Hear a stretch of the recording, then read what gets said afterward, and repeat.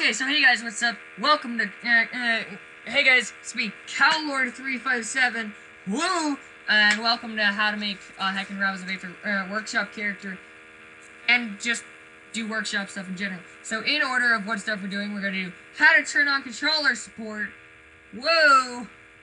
How to activate the workshop beta, yee! Uh, how to gain resources, also known as sprite sheets, uh, base code, also known as character to base stuff on, if you want to like do that type of thing, like how I did Scorpion. Uh, spriting, also known as use Paint.net if you don't have Photoshop, or even if you do have Photoshop, because I prefer Paint.net anyways. It's this thing right down here. Uh, uh, the manual and coding, which is basically where's the manual of coding, uh, what's the manual do, and an, a coding example. Testing how the heck do you test your character? And uploading. Not to mention that right bef before spriting, actually, because I'm an idiot and forgot to do this during the making of this file, because I'm a gosh darn idiot, uh, basically what you're supposed to do, what I have here is, uh, how to find folders, also known as how the heck do you, uh, even adjust and make Rivals of Aether characters. But yeah, that's how you do it. That's what we're gonna be doing. Yeah! Hello! This is a slight tutorial on how to actually do things with Rivals of Aether. So, first thing I'm actually gonna do, I'm gonna, real quick, demonstrate how to do a controller setup. So, as you saw there, I clicked the old Get Bigger screen, and I turn on these So I turned on Switch Pro and Nintendo button layout. And it should recognize the controller at that point. So that's how you play it with controllers. So the first thing that, it, that you might notice when you open up Rivals of Aether, for the first time or for the manyth time in a row, is that you're not on the workshop build yet. The reason why you're not on the workshop build yet is because you have to go into a certain spot. I'm going to just demonstrate that we are not on workshop. As you can see, there is no gear thing, right? So, if I real fast...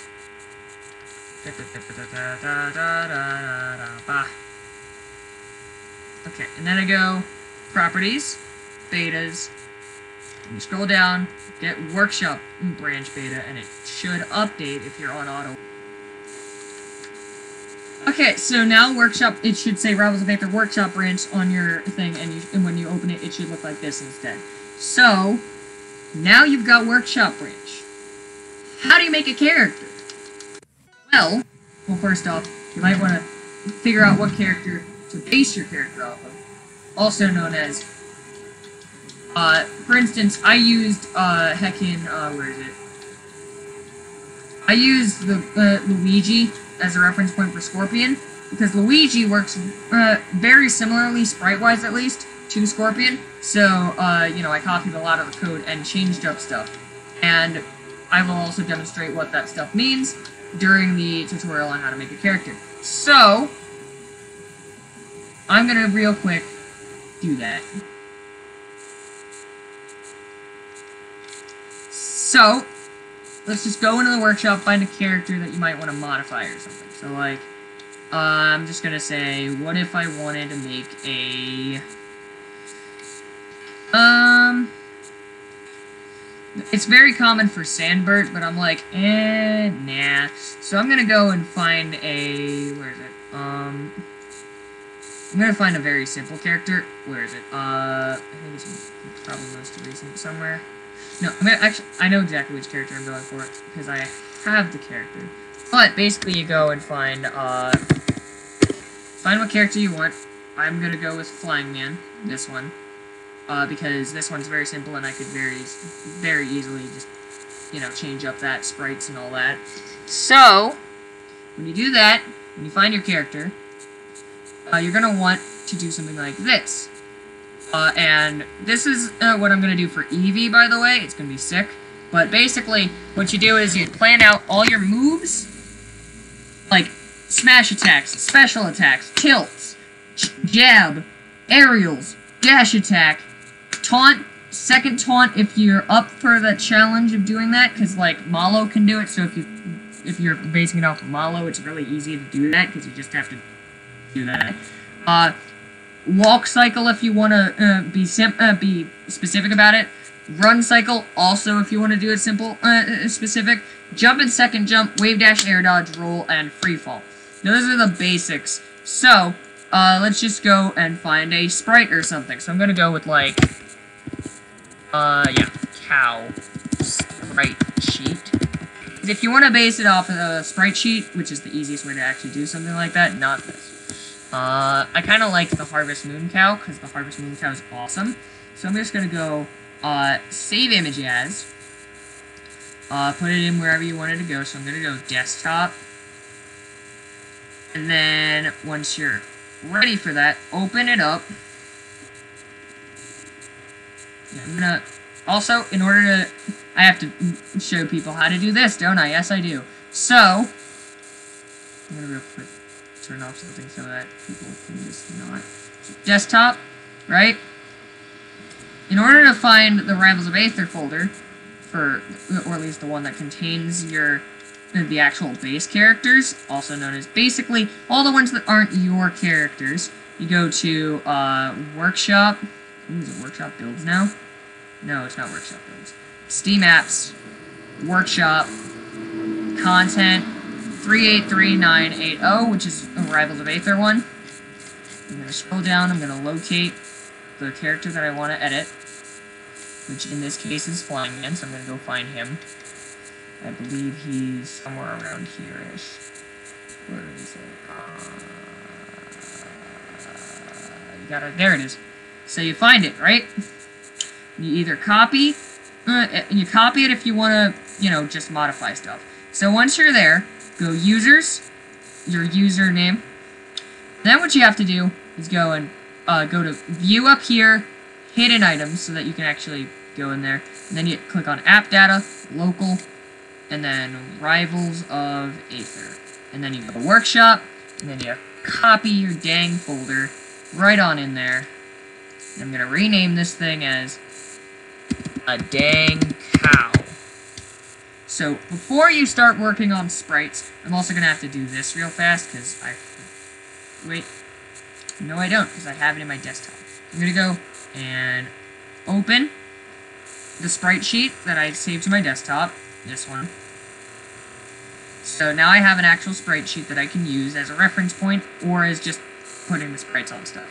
So what you first want to do, actually, is go to config, right? And set your name to whatever you want it to be. So, cow.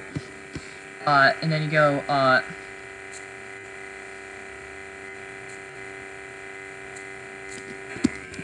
this is a cow. The code is from the Flying Man mod.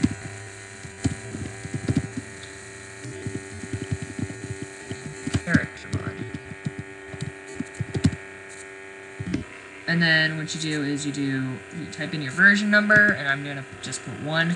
URL doesn't exist here.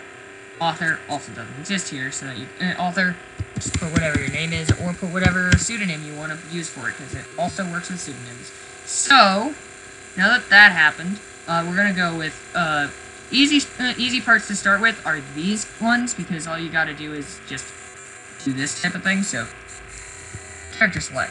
I'm just going to go and Actually, I'm gonna find the Harvest Moon Cow, because, like, one, it's great, and two, it's great. So, uh, Harvest Moon Cow.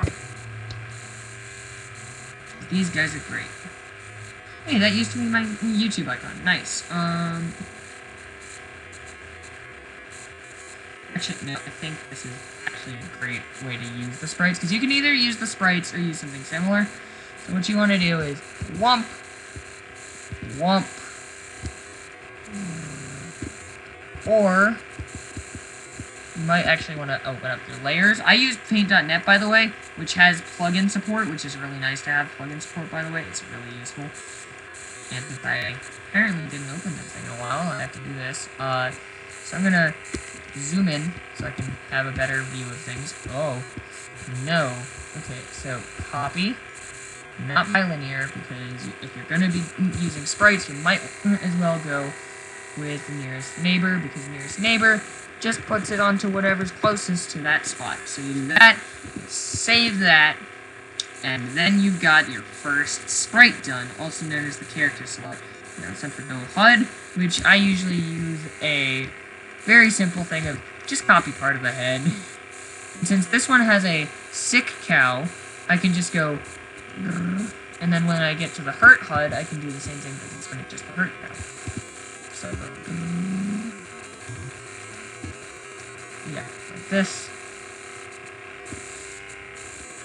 Effects, flip horizontal. Wump. I'm just gonna Okay, so in order to edit stuff, you're gonna want to go and download GMEdit uh, from here. It's free.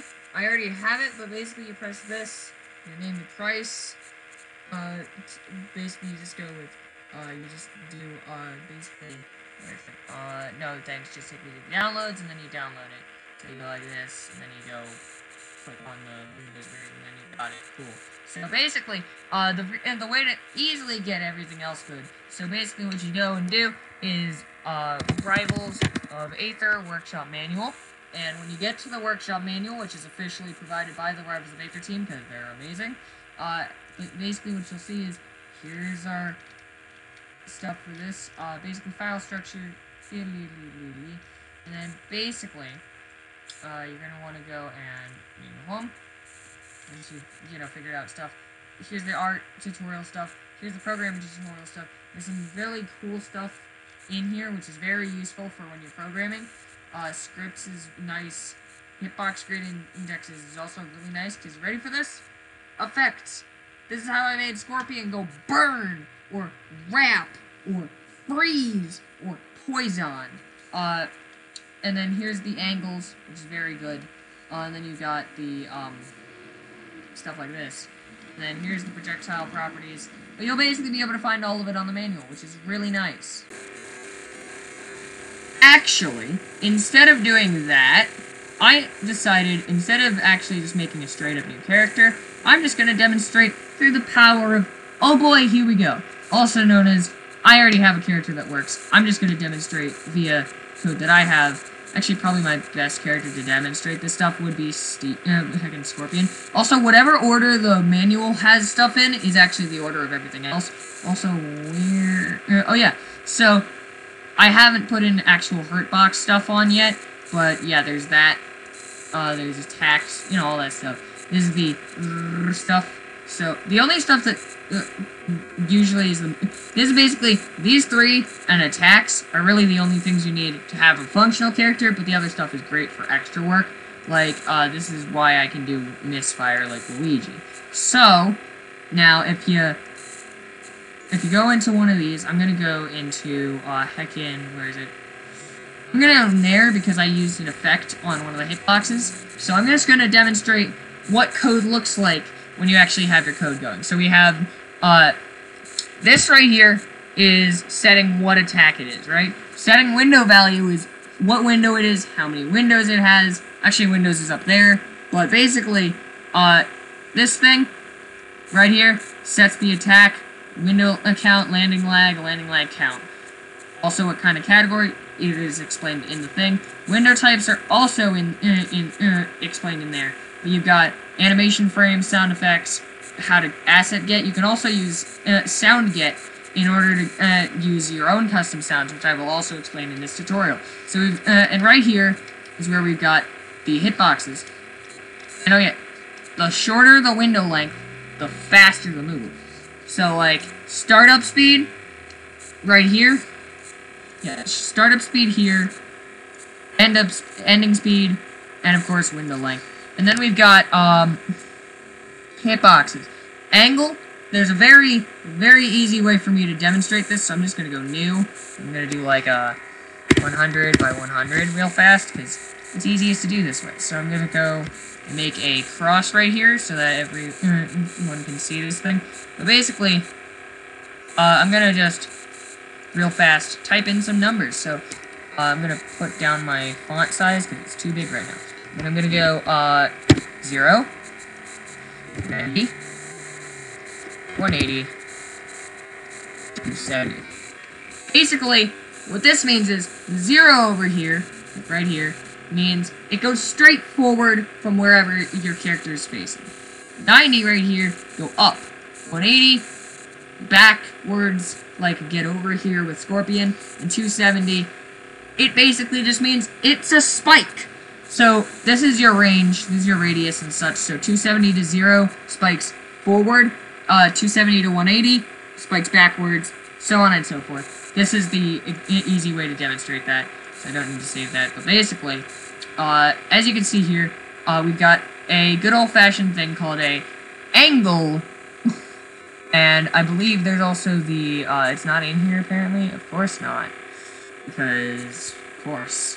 So, uh, as you can see here, we've used the effect right here, which is wrap effect, by the way, which is number 8. Uh, but I'm going to go to one with an actual uh, angle thing. I believe it's probably neutral special. Yeah, it's neutral special. Basically, angle flipper 7 uh, which if I look at the manual, which I did take screenshots of on my phone, because I'm really smart about that, it's good to take screenshots of important manual information for, for later use. But angle flipper 7, horizontal knockback sends towards the enemy player. That's how I make it so that get over here goes wimp, and then it goes over there. So yeah, that's how that works. Uh, that's how movement and coding works. And then here is how you dang upload a dang character. So if you go to library, you open up uh, Rivals of Aether. And then, once it's up, uh, and basically once your mouse disappears, you should be able to use your controller. So, oh, oh, I'm not selected on the right one. So basically, in order to, you should probably first test in practice mode every time you uh, make some nice changes.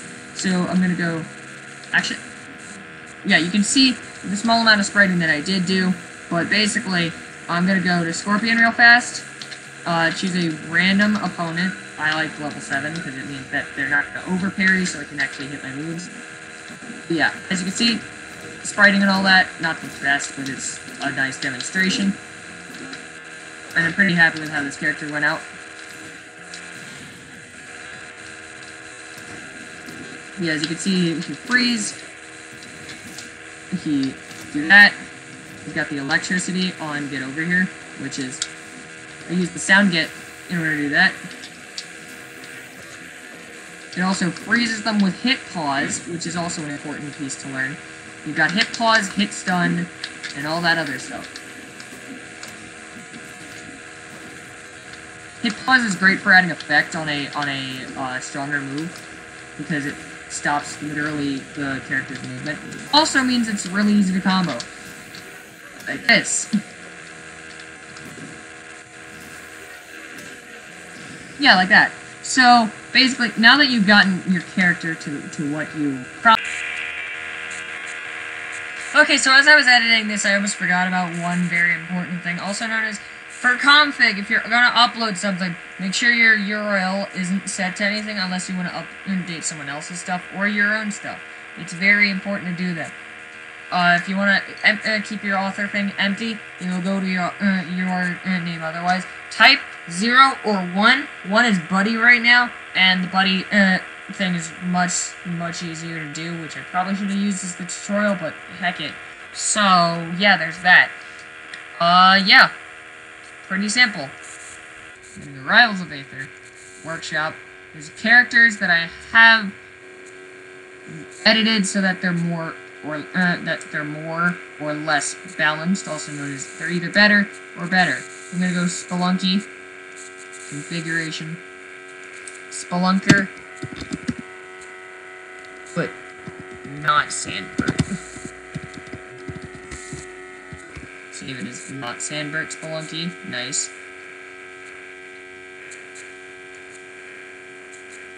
Mm.